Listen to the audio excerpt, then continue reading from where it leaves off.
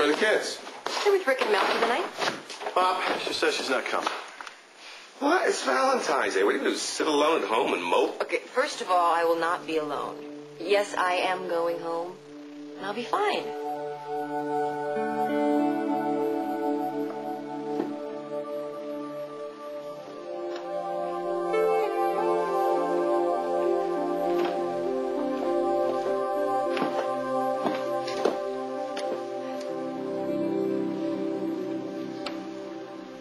Welcome home, baby.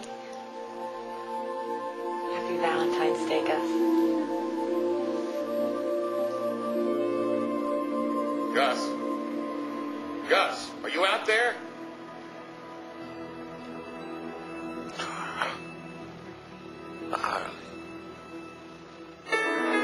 Right.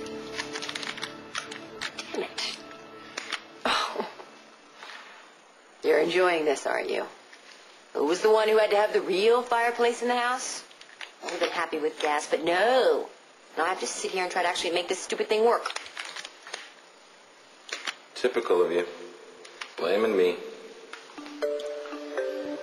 I said the thing about the fireplace. You said, yeah, you wanted too. Remember, you wanted it just as much as I did. Well, there were other things I wanted, and I didn't get those, did I? Oh, is that right? Like what exactly? Like a little boy with your smile.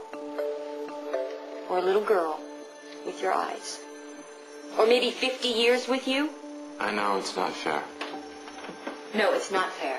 Because we had plans, you know? We had dreams and hopes. Now I'm just supposed to say goodbye to you? How do I do that, exactly? Oh, I don't know. That's why I'm here. Right? That's why you called me here, so we could figure this thing out together. You don't freeze out here first. If you don't freeze, see, I'm immune to that. You want to help? Could you do something? I can, babe. I can. I can. You can do it. Right there, right behind you. Where? Grab Where? the newspaper, shove it under the thing. Go ahead. You can do it. You can do anything.